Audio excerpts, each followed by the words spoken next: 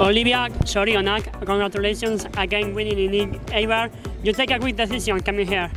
Yeah, it's always a good decision racing into Basque Country for me. So yeah, I'm happy that I won again. It's hard to defend, but uh, we defended today.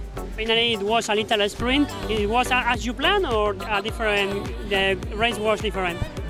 Uh, well, I was expecting to have uh, maybe better legs in the climb, maybe make it a little bit harder, but it was a very fast climb. We were going almost 25, so it's easier for other people to hang on.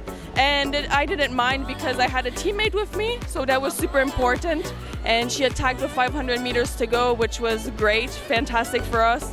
And uh, then I just sprinted uh, to the victory, so it was okay. I had the good legs to sprint today.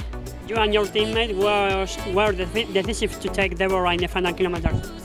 Uh, it wasn't uh, a decision, but uh, she has really, really good race instinct, and she took that decision herself. And I thought it was a very smart move because she finished third on the podium, and uh, it made uh, Shayla work a little bit more before the sprint, and me it set me up perfectly. The best way to end the last season. Yeah, yeah, it's the best way to end uh, the Basque races. Sorry, congratulations. Thank you, thank you.